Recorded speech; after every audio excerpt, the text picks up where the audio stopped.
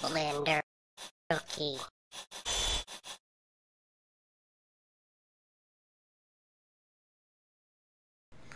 Alright, in this tutorial I'm going to be talking about depth of field and how to create depth of field in Blender.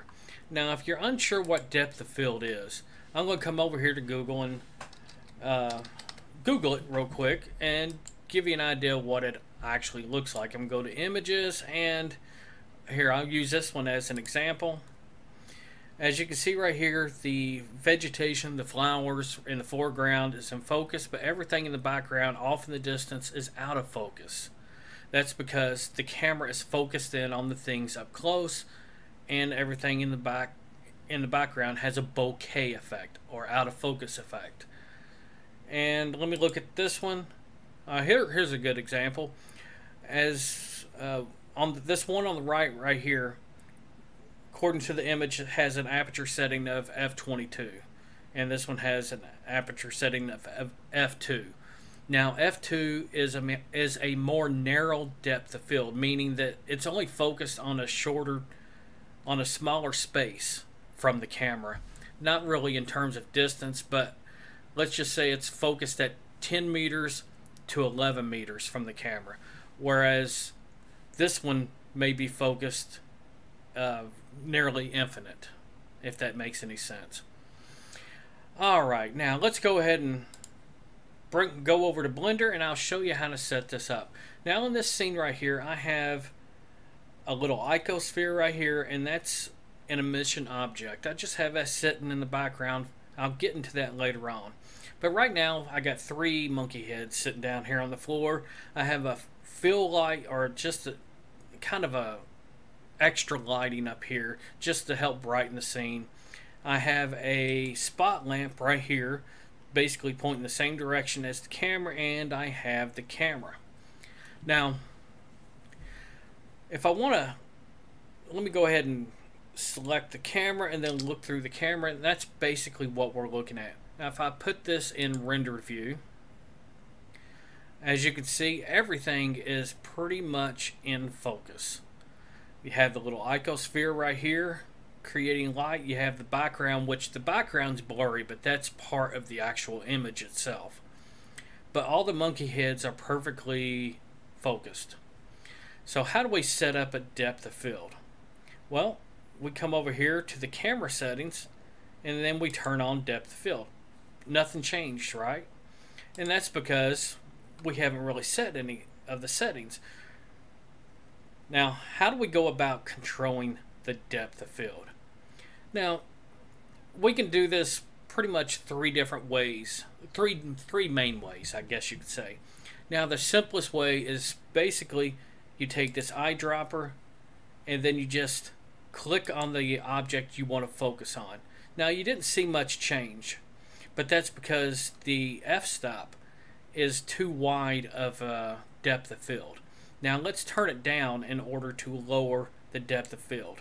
Now if we turn it down to 0.3, it's we can clearly see it's focused on this monkey head back here and not so much on the monkey heads up close.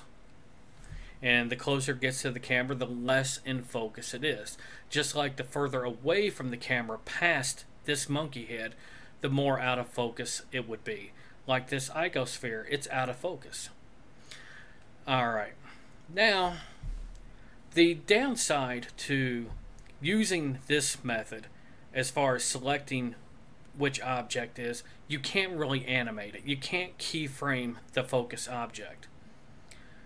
You may not need to in your scene, but normally you would definitely want to be able to do that. So, what we could do, and also the, the other downside to that is, suppose this monkey head was just huge I mean, like a hundred meters across. Well, this focuses onto the origin of that object, and the surface of that object may be uh, tens or hundreds of meters away from the origin, which would make it hard to focus on.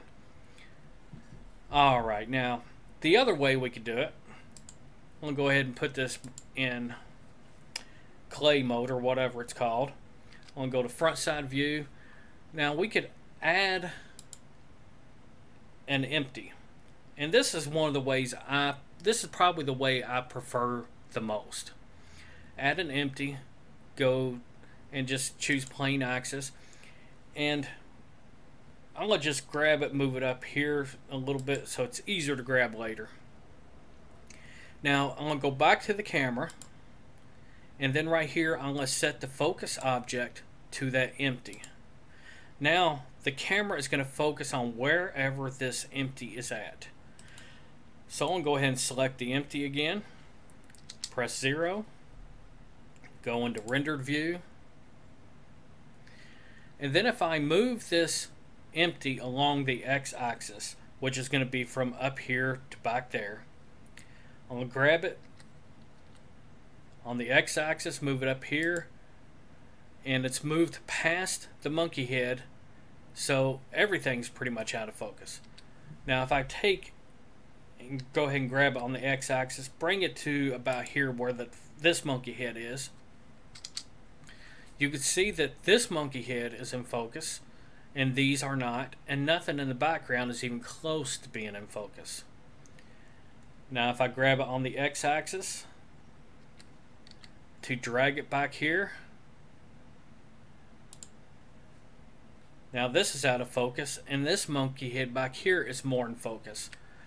Ooh, I've, I've moved it too far back. Let me grab it back on the x-axis, move it right here to where this monkey head is, and then go back into it. Now you can see this monkey head is now in focus, and the rest of them is not in focus. Now, the reason why I prefer using this method is because this empty can also be used as a target for the camera or a track to object. Now with this I'm going to go ahead and select the camera and then come down here to the object constraint button click that and then well if you go up here to add object constraint go to track to and then choose the empty now, don't freak out when it does this because it's basically looking in some weird direction, probably straight down or something right now. You you will generally have to fiddle with these to to get the right orientation so it's looking at the empty. But generally speaking, this one needs to be set to Y and then this one needs to be set to minus Z.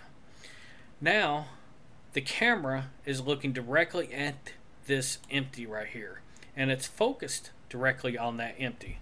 So now what I can do I can press 7 to go on top side view and then I can grab this empty and see look the camera is moving to basically constantly looking at wherever that empty is at.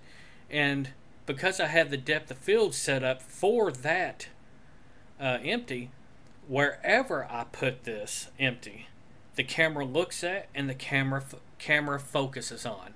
So this is comes in real good.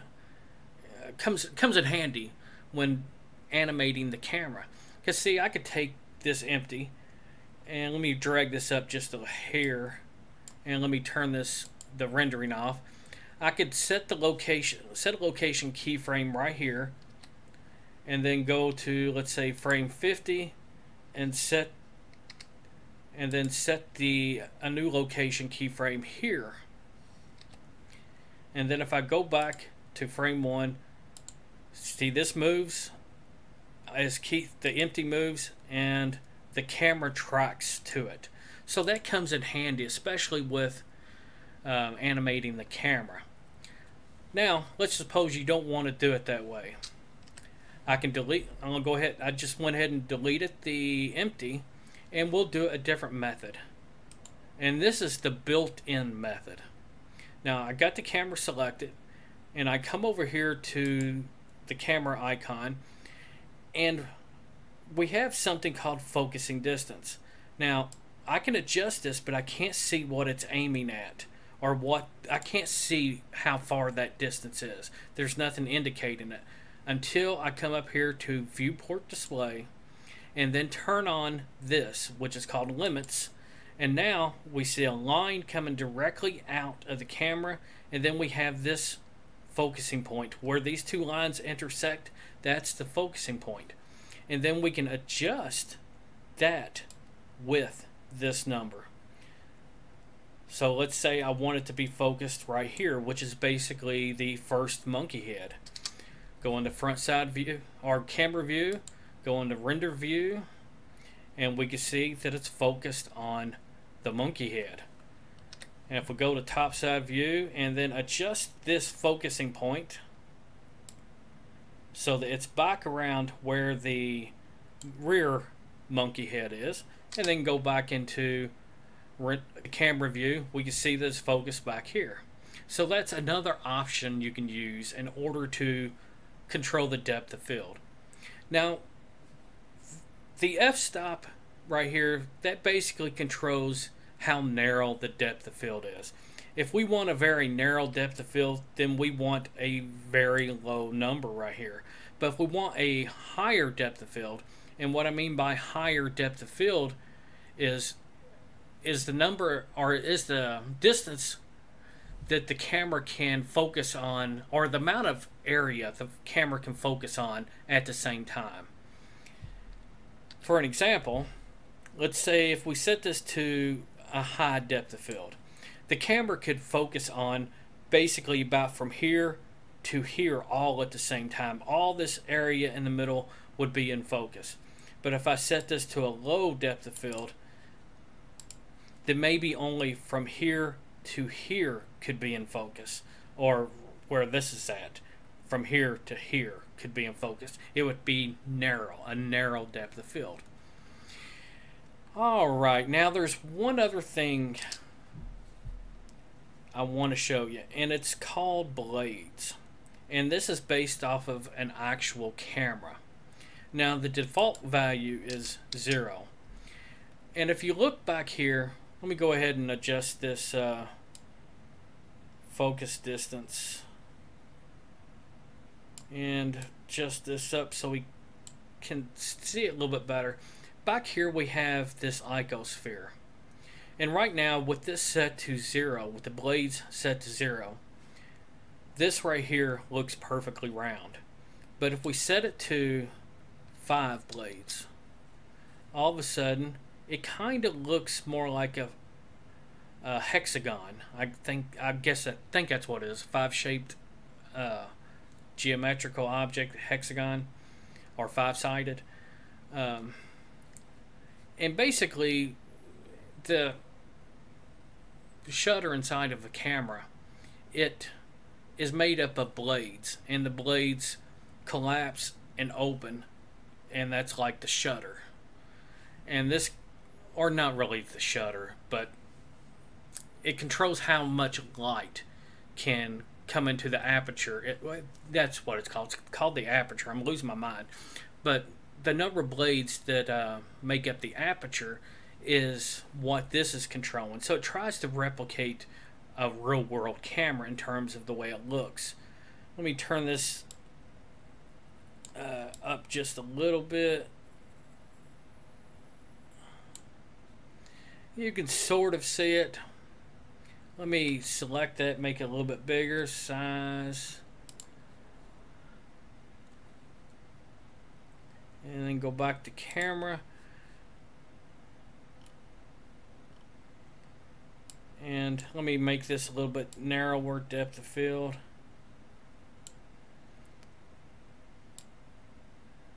you can sort of see how the number of blades kind of changed the look of this now it would have probably been better if I would added a subsurface modifier or made the icosphere more round itself because it's kind of interfering with the way it looks.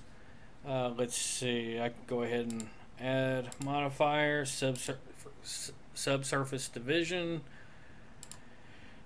click apply, and then go back to the camera. And now if I set this to 5, it's still not working quite right the way I wanted it or the way I thought it was going to. Uh, I probably don't. Yeah, alright, now we can see it better. you can you can actually see how five blades is causing kind of five different sides to this bokeh look of this icosphere. And it was kind of a long way to go about explaining what that is. And I probably confused you more than anything. But anyway, I hope this helped you understand what how to control the depth of field in Blender. I know when I first learned how to use uh, depth of field in Blender, I probably overused it, and I probably still do, but that's because I like the way bokeh looks. And this is essentially what bokeh looks like. Everything in the background out of focus, and then you have something in the foreground that's completely in focus.